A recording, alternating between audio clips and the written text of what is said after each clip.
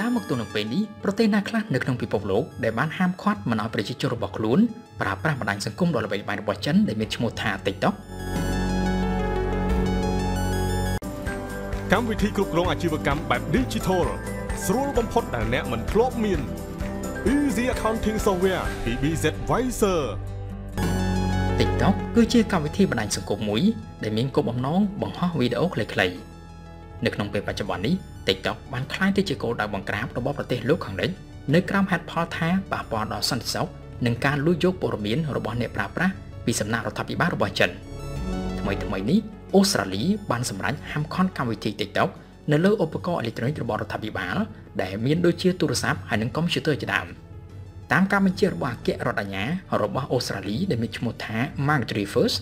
ការហាមឃាត់នឹងចូលជាធរមាននៅក្នុងរយៈពេលឆាប់ៗខាងមុខនេះ យ៉ាងណាក៏ដោយក៏មានករណីលើកលែងមួយចំនួនផងដែរនៅពេលបញ្ហាសន្តិសុខត្រូវបានគិតគូររួចស្រេចហើយនាយករដ្ឋមន្ត្រីរបស់ប្រទេសអូស្ត្រាលីដែលមានឈ្មោះថា Anthony Albanese បានឯកភាពទៅលើការហាមឃាត់ការប្រើប្រាស់កម្មវិធី TikTok នៅក្នុងជួររដ្ឋាភិបាលបន្ទាប់ពីមានការពិនិត្យចោទសពគ្រប់ពីសំណាក់ក្រសួងមហាផ្ទៃចំណែកឯរដ្ឋវីតូរីយ៉ាក៏រឹតបន្តឹងកម្មវិធីនេះនៅលើទូរស័ព្ទរបស់រដ្ឋាភិបាលផងដែរនេះបើតាមការចេញផ្សាយរបស់ទីភ្នាក់ងារសារព័ត៌មាន Reuters ក្រុមហ៊ុន TikTok បានបង្ហោះការខកចិត្តយ៉ាងខ្លាំងចំពោះសេចក្តីសម្រេច របស់ប្រទេសអូស្ត្រាលីបែបនេះលោក Lee Hunter ដែលជាអគ្គនាយកក្រុមហ៊ុន TikTok នៅអូស្ត្រាលីបានអះអាងថាក្រុមហ៊ុនមានការខកចិត្តចំពោះការហាមឃាត់មួយនេះណាដោយសារតែកន្លងមកក្រុមហ៊ុនបានស្នើការរក្សាទំនាក់ទំនងជាមួយរដ្ឋាភិបាលជាច្រើនយោងតាមលោក Lee Hunter វាគ្មានផុសតាំងណាមួយដែលថាកម្មវិធី TikTok បង្កហានិភ័យដល់សន្តិសុខជាតិរបស់អូស្ត្រាលីនោះទេ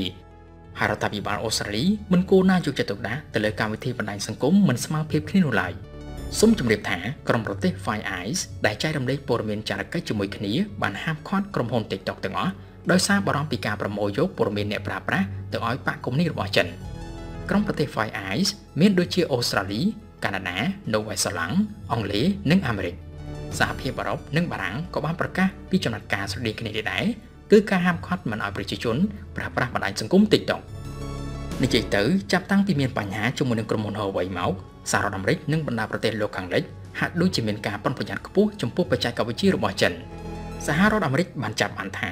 ចិនបានប្រើប្រាស់ក្រុមហ៊ុន Huawei ធ្វើជាដៃជើងនៅក្នុងការយកព័ត៌មានរបស់ប្រទេសផ្សេងៗក៏ដូចជាយកទិន្នន័យរបស់អ្នកប្រើប្រាស់ជាពិសេសនោះគឺអ្នកប្រើប្រាស់នៅបណ្ដាប្រទេសលោកខាងលិច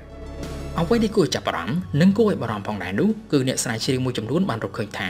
វីដេអូដែលត្រូវបានបង្ហោះនៅលើ TikTok មានភាពខុសគ្នាពីប្រទេសមួយទៅប្រទេសមួយ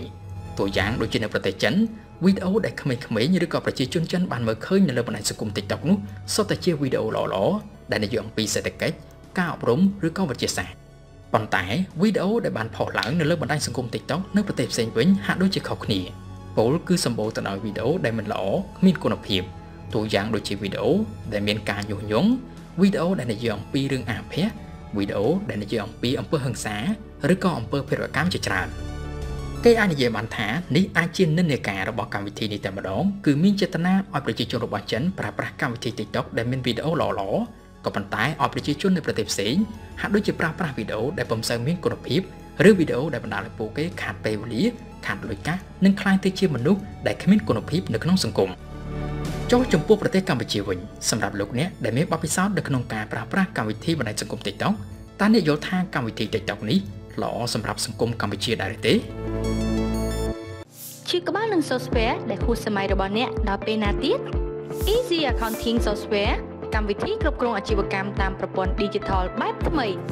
ឯកទេសសម្រាប់ហាងលក់រាយគ្រប់ប្រភេទនិងស័ក្តិសមបំផុតសម្រាប់ដេប៉ូបោះដុំ ទំនាក់ទំនងមក Biz Advisor នៅទីនេះដើម្បីទទួលបានព័ត៌មានលម្អិត។